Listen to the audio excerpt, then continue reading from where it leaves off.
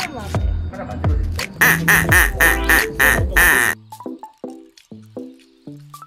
저 너무 맛있어서 또 샀어요.